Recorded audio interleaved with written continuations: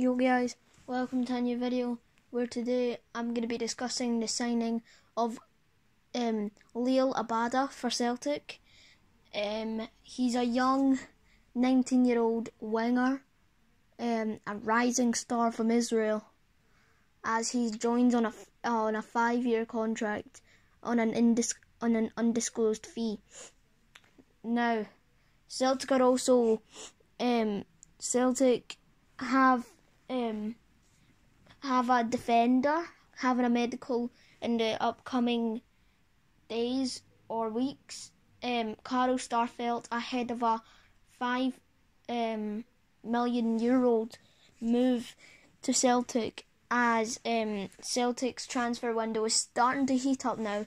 Looks like the board and Ange Postecoglou are doing things together since it's um, already mid almost midway through um, uh, July, and so that um, we need to get players in quickly.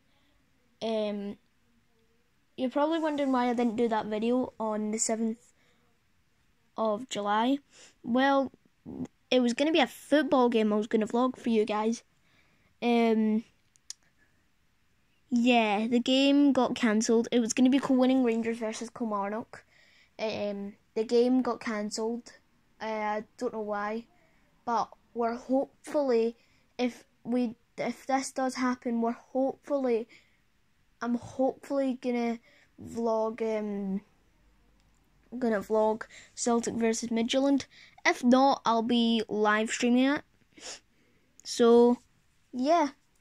Hope you guys have enjoyed this little update on Celtic. I'll maybe do a little um update on our Ross Mountain Rovers soon, on soon. But for now, guys, it's goodbye.